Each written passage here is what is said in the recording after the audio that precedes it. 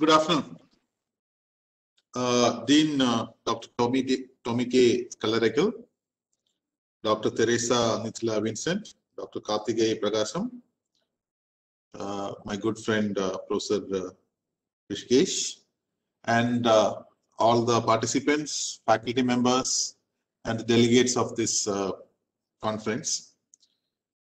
Uh, I, it's heartening to note that uh, you had a very interesting and a lively session all through the day on a very important topic. Uh, I think uh, uh, as we are moving out of the pandemic, and there is there is always uh, we are speaking about the challenges of maybe a K model of recovery where some some sectors grow very fast, recover from the very fast, but some other sectors will still continue to sort of trail. Uh, it's important that uh, we may have to actually play a very important role as academics uh, to ensure that the, the recovery of the business across the world and specifically in India happens very fast and how intellectual output and the research can contribute to that. As uh, Professor uh, Tommy has rightly pointed out, some of you may be taking academic careers, many of you may be going into corporate world, but it's important that in the days to come, the resilience is going to happen only through creation of knowledge. And that's basically, I believe, this conference has actually stressed on. Uh, it's quite fortunate that I got an additional uh, 10 minutes uh, on the time. So maybe I would uh, like to uh, uh, share a small presentation, if you allow me to, give me the credentials, so that we will uh, look at what is really happening in Indian context as far as research is concerned. And for future researchers and for future academics, what is that we could do uh, to ensure that we go into a very faster uh, in, path where impactful research can be done. So is it possible to uh, give me the credentials to share the screen? Karthik sir. Okay. Yes, sir. Yeah, sure.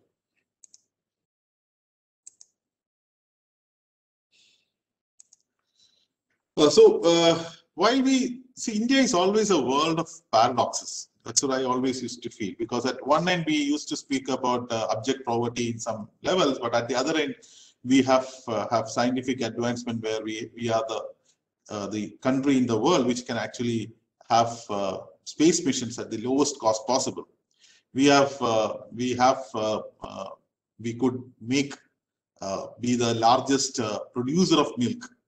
we could actually make great strides in agriculture, but we still have problems on the other end. Some of these paradoxes actually continue in the context of research also. That's something which I would uh, like to discuss as we proceed. If you look at Indian higher education system, and I think the topic which been uh, uh, sort of uh, we we thought we will discuss is why Indian uh, uh, institutions and universities lag in research. And we used to hear about a lot of cliche about India being not really on the forefront of research.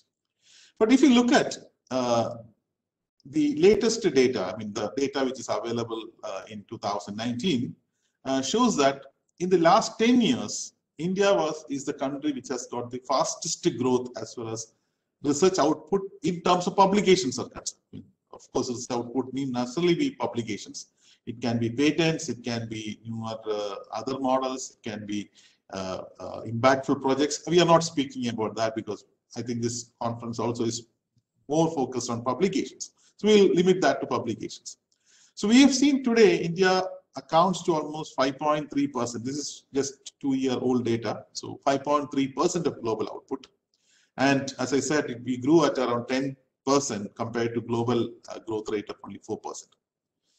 Even today, the China leads the world with around 20% of the publications coming from China, while US with 16% um, second, and India is a third, and we are growing very fast.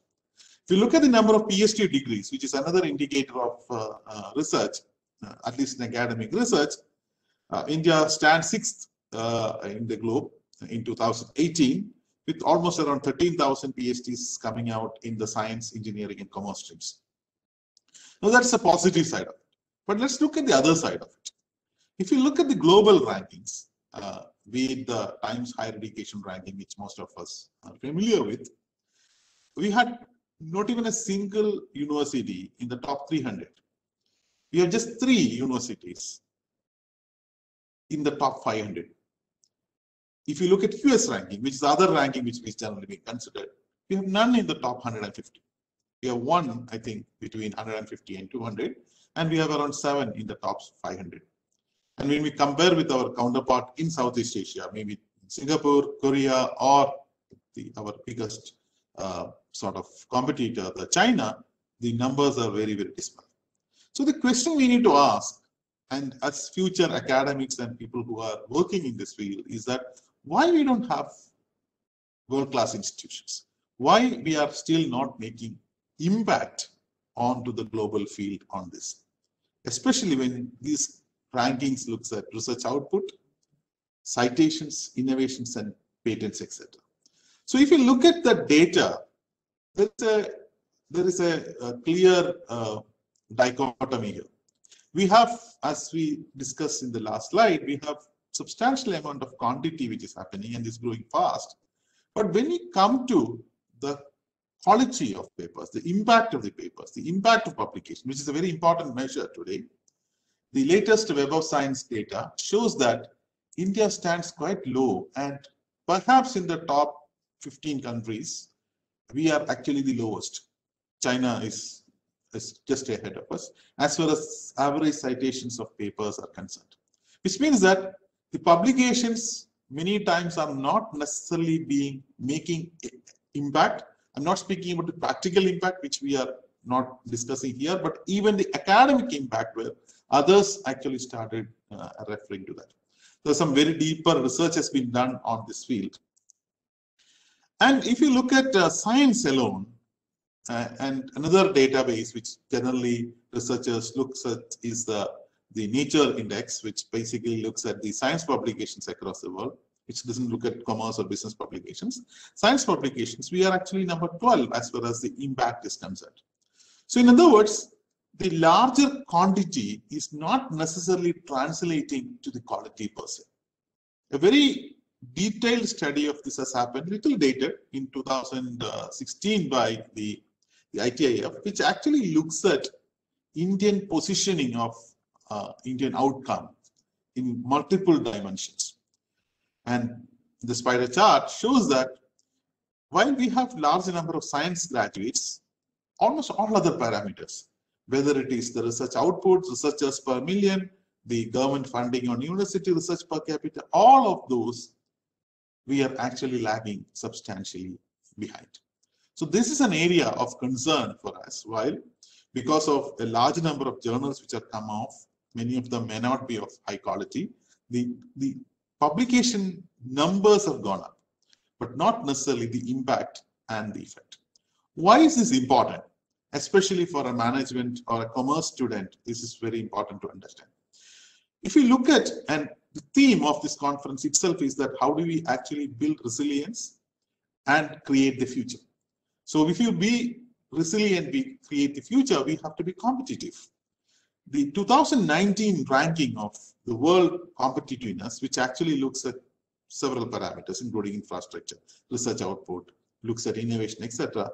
India is ranked 64, which is obviously not a very nice figure for us to be proud of. So if really, if each of us need to make country much more competitive and the post-COVID world gives you that opportunities because I always believe that COVID made as a great equalizer, it actually pulls everyone back into same uh, line. And whoever is more competitive is going to be one who is going to drive in the next stage of growth. This very important that we have to move away from this 64th rank to the higher rank person. And one of the elements of that, and a very key element of that is the innovation where India lags behind the world average. And that is basically where I think the research innovations are actually going to be very important. So, so at one end, we have quality, but the impact of research is not happening to the extent it is to happen. Second thing is it is not translating to, like Dr. Tommy has rightly pointed out at the beginning in his uh, uh address that unless the knowledge creates advances a society, it is not going to really make a big impact as such. And that is an area where which of concern to us. So the question we need to ask is that why are we, why are, where are we lagging? Are we lagging in the impact of university research, which is measured as per the citations are concerned? Or is it the usefulness of university research as measured by the innovation and products?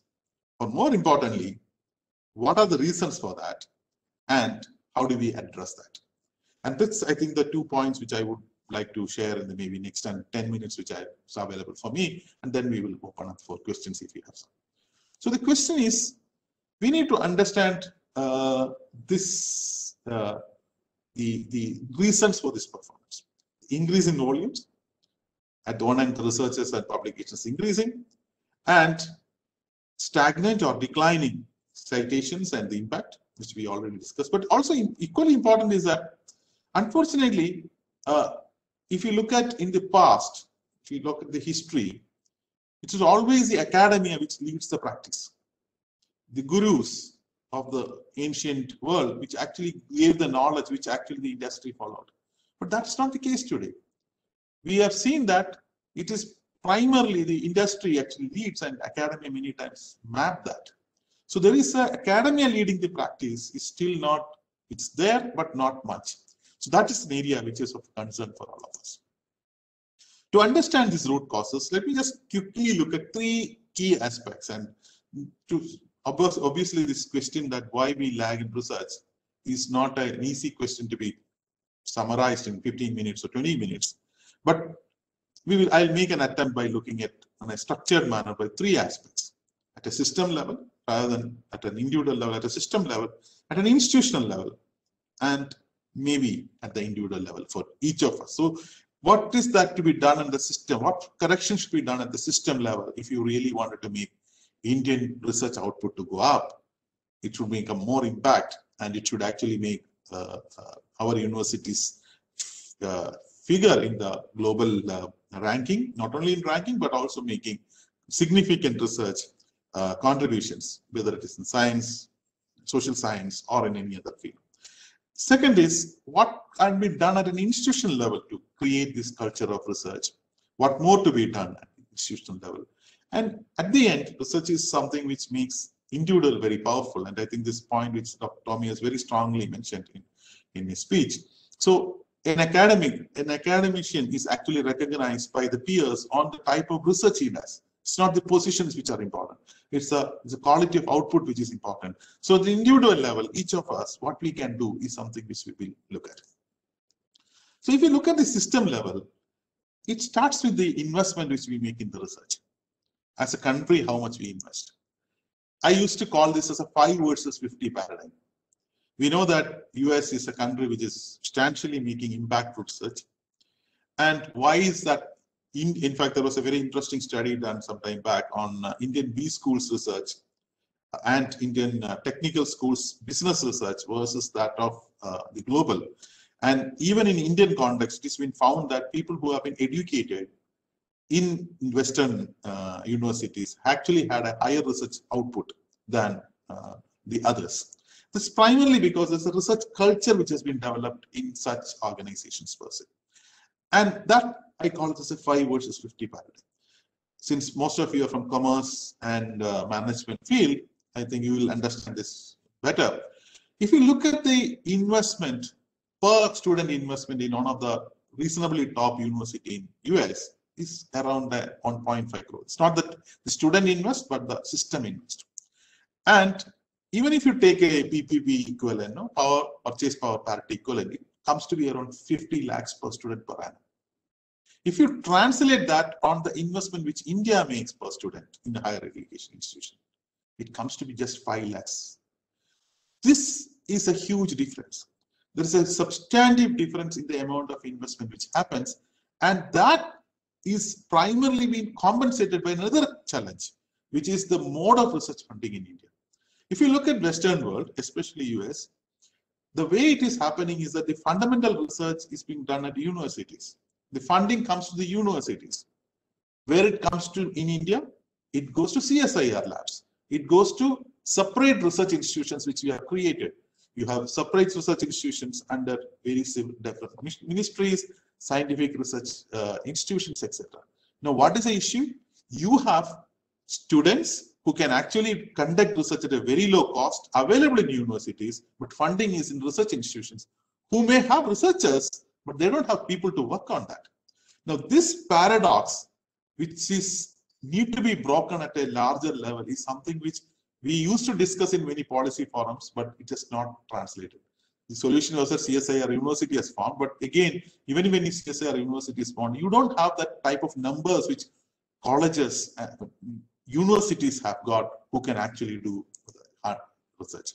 The second thing is the research infrastructure, specifically type of laboratories which are available, the type of testing facilities available, and as management researchers and and people who are doing social science research, our biggest challenge is not on that. Our biggest challenge is the data. Where is the non-toxic data available for us today? Do we have data infrastructure available which we can leverage on what and Western universities which can have?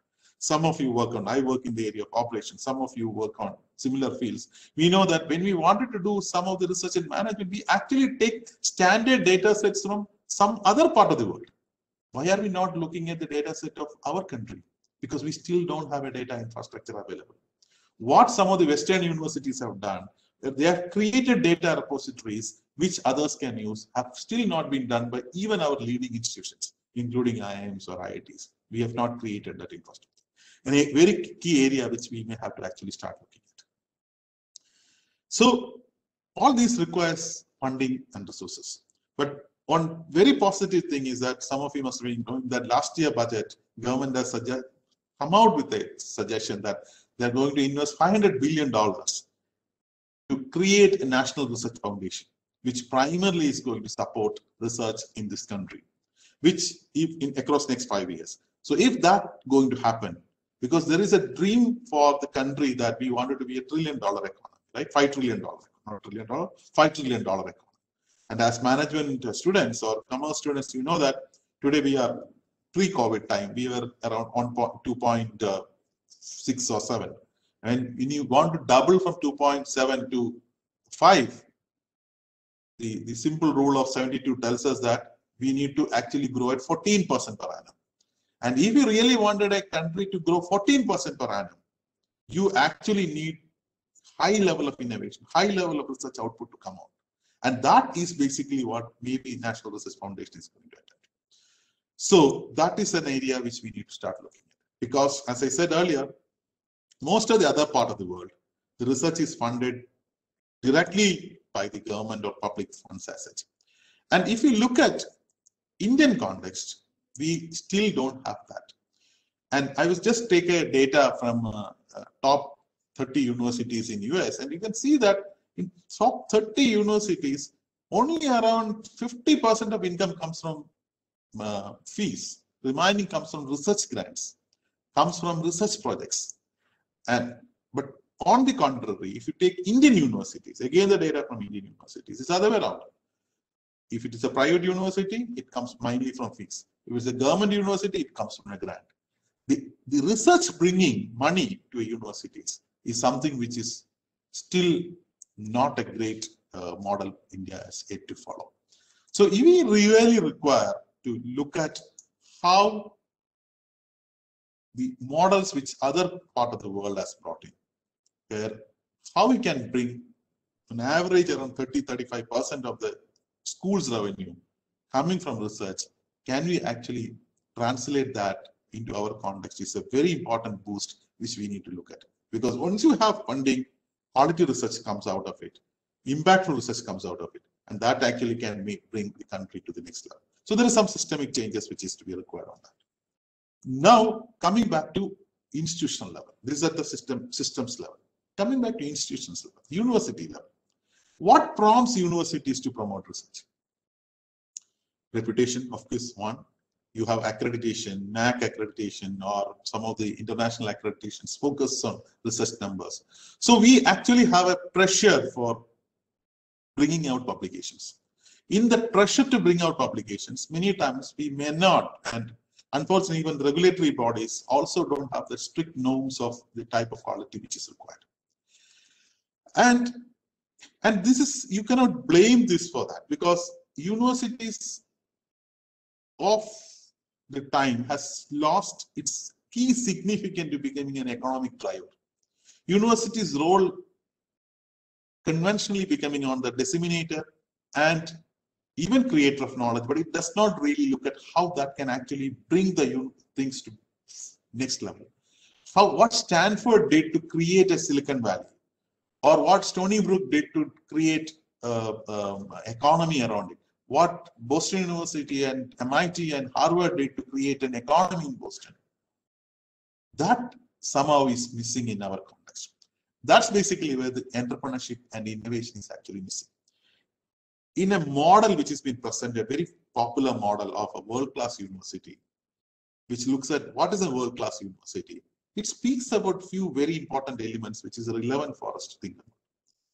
At one end, you have very strong students, teaching staff, etc.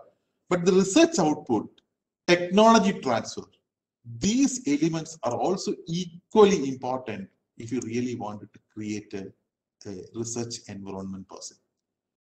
To a large extent, I'm not saying this is not there, but the significant level of this is not necessarily there in many of these things. So that is an area where we need to think about an improvement per se. And how do we do that? And for that, we may have to actually start looking at why this is not happening. The first challenge to me is that we have a substantial orientation to a degree-oriented research. Even for PhD programs, people actually start looking at completion of a PhD, meeting the deadlines rather than the point which Professor Tony rightly pointed out. No, you become passionate and you enjoy the process. That doesn't happen. So there's a degree oriented research.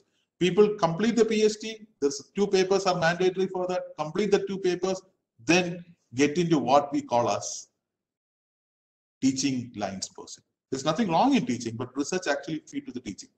In some of the Western university, they used a team called teaching tax. What is teaching tax? It says that they like to do research, but if you have to do research, you have to do uh, some teaching. So that's why they call it a teaching tax. I think in Indian universities, we call it as a research tax because we would love to do teaching, but because external forces us, we are supposed to do some, some amount of research, some amount of papers. So I think many times, even the universities who speaks about research as a key thing does not allow faculty time for that. How much time, including UGC, if you look at, it says that every semester you have to teach so many number of hours, right?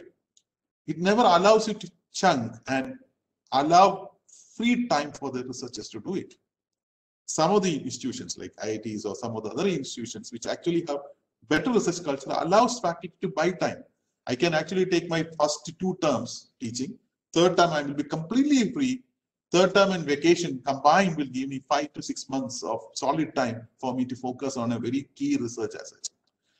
Researchers knows that if I have a teaching to do, I need to correction to do, and I know that I need to do a research paper, naturally my quality actually suffers.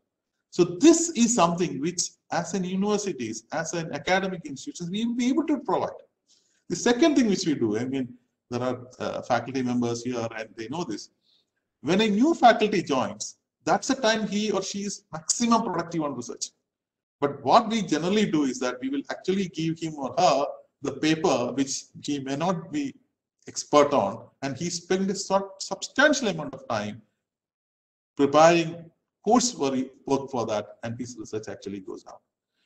We very rarely give research funding to a new faculty person. I'm not saying that this is uh, across the board, but this is a normal happening across the country person. And the last important thing is the culture of research. I, I, uh, I with that I will um, quickly conclude. I made most of my studies at Indian Institute of Science. Now, Indian Institute of Science, Dr. C.N.R. Rao used to say that the way I find this institution is doing well is by looking at what people discuss. At that time, there was a coffee shop there. So he used to say that I stand there in a queue and listen to what people speak about it. If they are speaking about their research labs, they're speaking about the research project, they're speaking about their PhD students, I know that my institution is going in the right way. But if they are sitting, standing there and asking and speaking about their promotions or their uh, other elements, I know that my institution is having a problem. So in other words, what he used to say is that a culture of research is not by just making some publications. Culture of research is basically where we create an environment where people actually speak about it. People are passionate about it people are people uh, look at problems debate on that discuss on that. Whether it's in the mess hall whether it is in the canteens whether it is in we actually started discussing on the problems which is on that. And that culture is something which actually drives the research in the western organizations. In fact when you see if you if you see the phd output, output of many of the western universities their output may be very small. They may not have done too many too much of a workout. But the process in which they have done is so rigorous that they will be able to replicate it very far.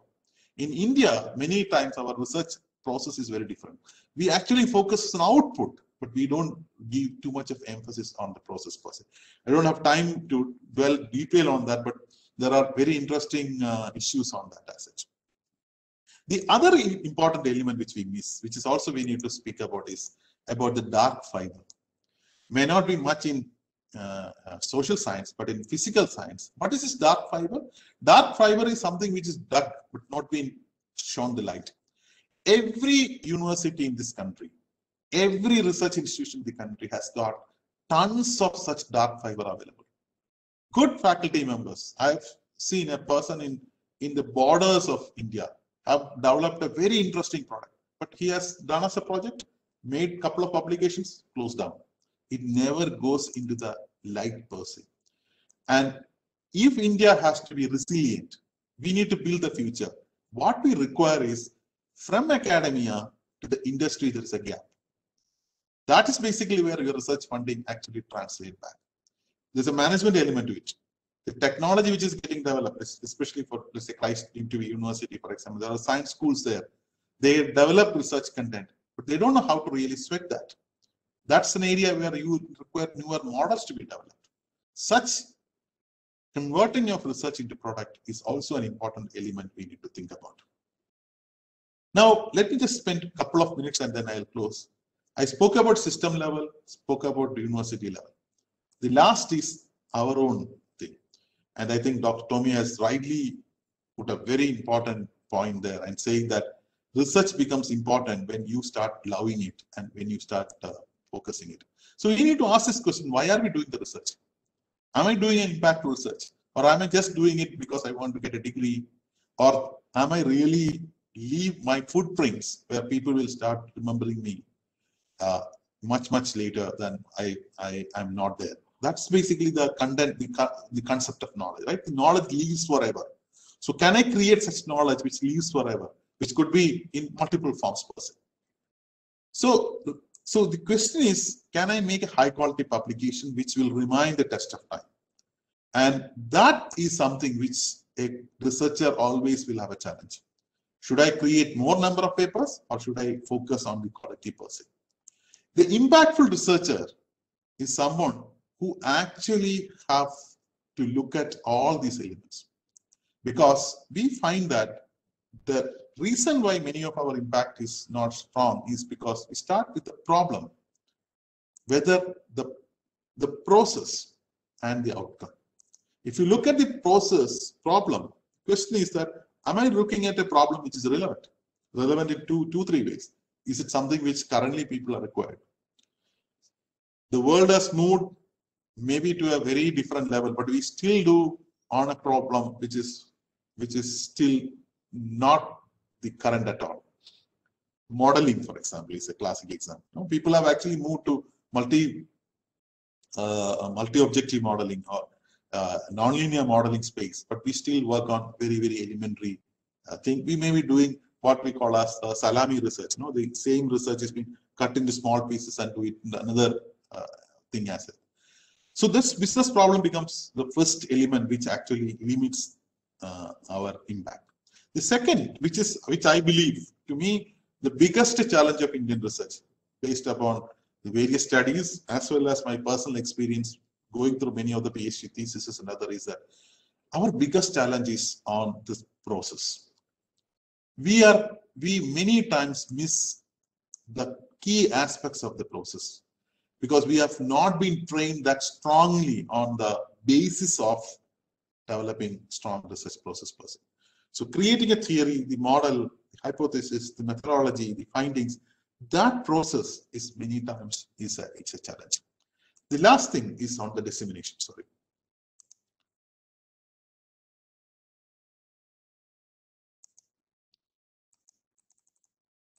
The dissemination part of it also is important. Am I really making the presentation which will be useful for others? Is professional? Is the channel appropriate? Each of these actually needs to be discussed in more detail, but at this point of time, I'm not going to attempt on that because I've already exceeded my time much more.